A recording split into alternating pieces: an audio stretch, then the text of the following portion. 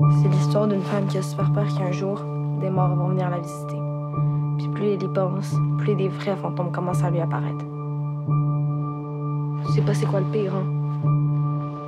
Paraît que c'est une.